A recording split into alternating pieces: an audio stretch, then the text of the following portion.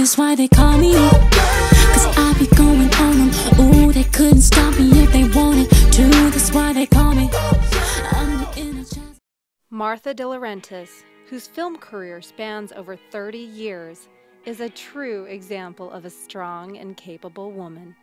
After graduating from Ball State University, Martha took her first job in the entertainment industry as a producer's assistant in New York. She quickly proved herself and became head of administration for Dino De Laurentiis Productions. How did you always remember who you were and stay true to that, that, that integrity? Jennifer, I always knew I wasn't alone. I always surrounded myself with friends. And uh, especially with women, it's very, very important that we keep the girlfriends. I mean, it was always through through school that I had tight friends, and then I've, I've stayed great connections with my high school friends, my college friends, my friends from the New York days, as well as I've, I'm in quite a few. Um, not even networking groups, you wouldn't call them, but on the Women's Leadership Board at the Kennedy School of Government, for instance, we're uh, 150 uh, women board. Wow. as well as there's the trusteeship in, in Los Angeles, which is the LA-based um, group of the International Women's Forum, and the Women's Leadership Council that we formed about nine years ago, out of a group of women uh, my age that we had school children together, but they were moving on to the higher levels of education, and we didn't want to lose touch. And what all these groups are based on are what we can, as women, can contribute and become friends with and with our gifts that we have to share with them. You know, whether it's just friendship, whether it's we can help, um, you know, mentor. Uh, it's, it's, it's just all part of that sisterhood network. In 1983, Martha established her company, the Dino De Laurentiis Company, where she went on to build major film studios and produce award winning films. Do you ever get stressed? Well, a challenge is the challenge. And I'm perhaps the type of person that the glass is half full and getting fuller. I've always had that um, optimistic, I think, outlook on life. And whether it's luck or whether I've always been at the right place at the right time, but yet I've taken that and I've, I've basically, instead of being the aggressive or the verbose person, I listen, I absorb it, and I learn.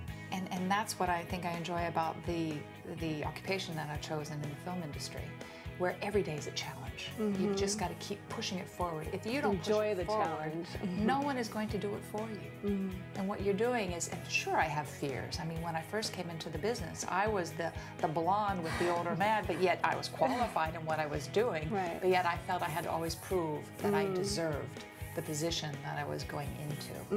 And you never lose that, as women in a professional field. Mm-hmm. You always have that in you, you know, that little voice inside of you. Of course, and we've got to mm-hmm. prove and just do it that, that mm-hmm. bit better. But I think we as women want to also, the way we run our household, the way we want to raise our kids, we want to prove and provide better than what we had. Even though we had it great, we always feel that we want to be able to provide better, to set that better example.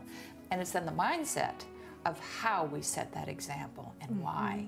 While being an active mother and wife, Martha has always kept a healthy balance in her life while achieving great accomplishments in her field. So, Martha, how do you maintain balance in your life? What I fundamentally have is a strong moral core. core. You know, I, I grew up much like you in, in a family of a smaller town in Ohio. We're very faith-based, very morally based, um, and and very encouraged to do the right thing always. You know, what, what is the mm-hmm. best thing that I could do?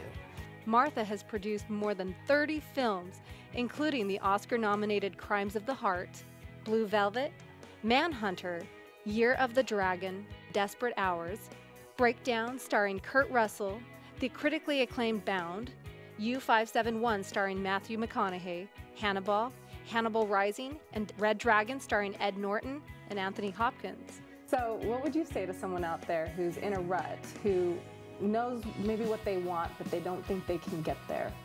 A lot of people get themselves in holes. Oh, pity me, I'm not interesting.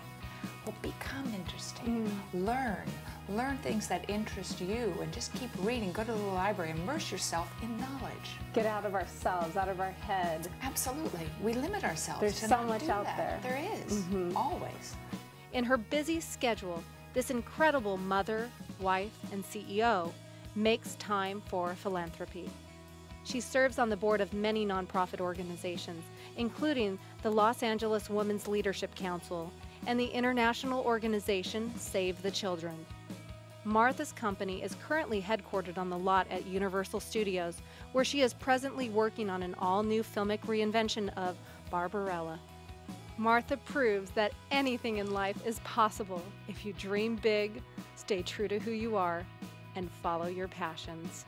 I think it's great what you're doing. Thank you know, it's always wonderful to take that personal experience and help others.